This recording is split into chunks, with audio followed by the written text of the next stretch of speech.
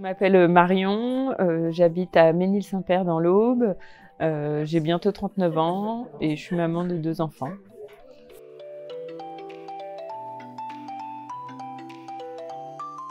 J'aide la bulle surtout pour euh, la communication. J'utilise mes talents de, communicante pour, par exemple, la réalisation du programme des animations, l'envoi de newsletters et aux adhérents de la bulle. Et j'essaye aussi de toujours trouver des outils qui permettent aux salariés de se débrouiller après tout seul pour faire les mêmes réalisations sans moi et puis qu'elles puissent être indépendantes après.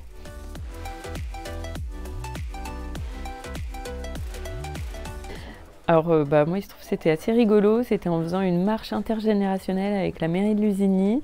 Euh, il y avait une bénévole qui était présente et qui, à la fin de la marche, euh, a ouvert la médiathèque juste pour moi et mes filles pour me montrer parce qu'en fait, il se trouve que je ne savais même pas qu'il y avait une médiathèque à Lusigny. J'allais jusqu'à Troyes, je faisais 30 km pour aller dans une bibliothèque et emmener mes filles dans une bibliothèque alors qu'il y en avait une à 5 km de chez moi.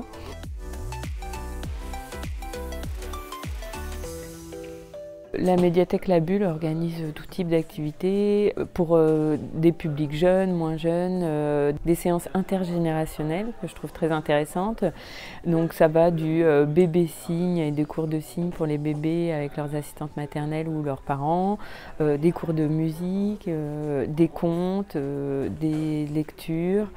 des cours de tricot. Il y a eu beaucoup aussi d'activités autour de la biodiversité et du développement durable.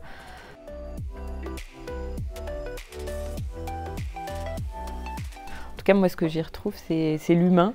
C'est pas euh, la vision qu'on avait d'avant en fait de la bibliothèque où il n'y a que le livre, il n'y a que des livres. Et euh, c'est beaucoup plus ouvert que ça. C'est plus un tiers-lieu pour moi aujourd'hui. C'est où euh, c'est un lieu de rencontre, c'est un lieu d'échange c'est un lieu de partage et, voilà et ça peut aller du développement durable au tricot à la musique au livre aussi mais c'est beaucoup plus large. Et je trouve qu'on est très chanceux en France d'avoir des services publics de cette qualité euh, dans euh, des milieux ruraux euh, comme Lusigny. Et je trouve que c'est une grande chance et c'est une chance qu'on ait cette bibliothèque, qu'on ait l'accompagnement du département et de la MDA, voilà, vraiment partout en fait.